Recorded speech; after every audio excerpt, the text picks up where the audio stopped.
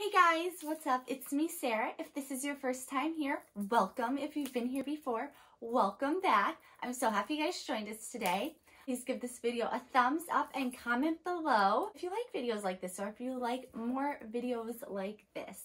So, today's video, I'm just going to give you a few tips on how to shoot a YouTube video using your iPhone. So, let's get into it.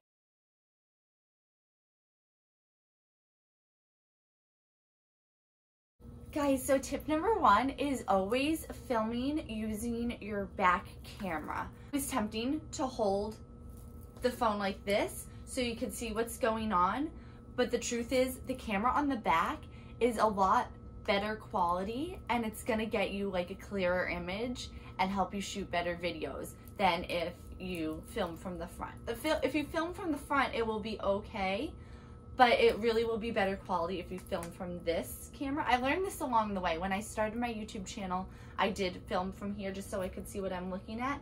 But even that can be bad because then you could end up looking at the screen and then it doesn't look like you're making eye contact with the viewers. If you do film from the front, try to look at the lens. Alright guys, so when you're using your iPhone to film your videos and you're using your back camera, also be really aware to hold your phone horizontally like this rather than vertically like this. When you film holding your phone vertically, like I know that it's like instinct to like hold a phone like that, but if you hold it like this, then you're going to end up with those black lines on the side of the video. Like I made that mistake for my first video. If you go back and watch my very first YouTube video, I filmed the whole thing with my phone vertically there's the black lines. If you film holding your phone horizontally, the, the video is going to take up the whole screen. A lot better for the viewers to watch. I'd much rather watch a video that's full screen than half screen. So that's just a tip. Another tip for shooting from your iPhone is lighting. Lighting can be very important. If you can, film using natural light. If not, I would suggest getting a ring light like this. I love this ring light. It's so helpful. It has this, so you can make it more dim or you can make it more bright. Ooh. Ooh.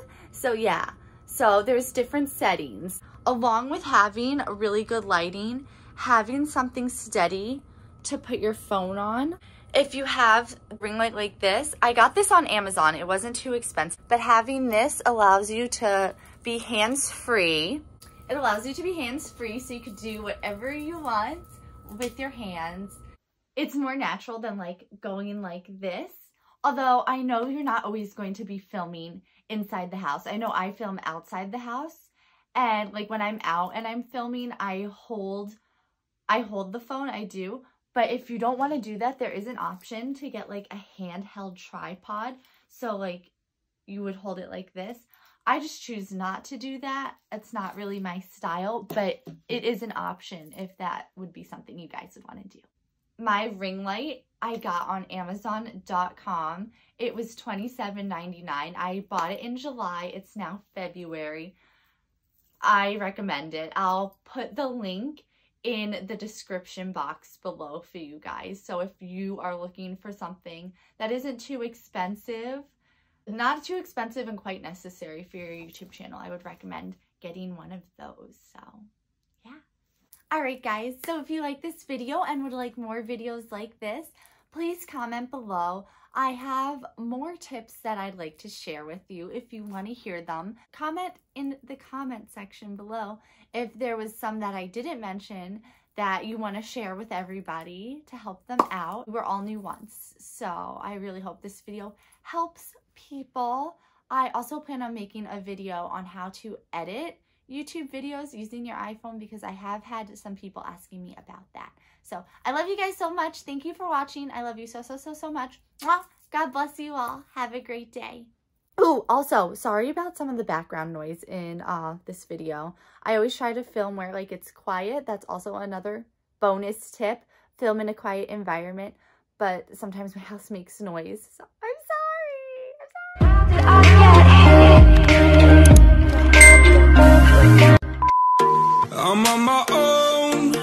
alone. I feel the rain crashing down all around this empty town.